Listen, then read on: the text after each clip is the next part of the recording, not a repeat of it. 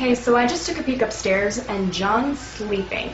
So I blew up this big ass balloon and I got a pair of scissors here, but I'm also going to add my night bright bat into the equation.